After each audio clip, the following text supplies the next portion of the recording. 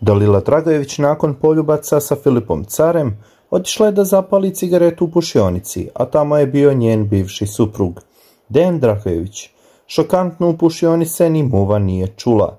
Međutim, Dalila mu nije uputila ni jedan jedini pogled i odmah je pomerila stolicu, kako bi mu bila okrenuta leđima. Očigledno je da Dragojevićka želi da izbjegne svaki kontakt sa njim, kako ne bi ušla u sukob sa carem. Da li je toliko zaljubljena u Filipa, da je pet godina sa Dejanom tako lako obrisala, da se sada ni ne poznaju? Ostaje nam da saznamo. Komentarišite šta vi mislite o ovom njenom ponašanju i bacite subscribe za još novosti. Pozdrav!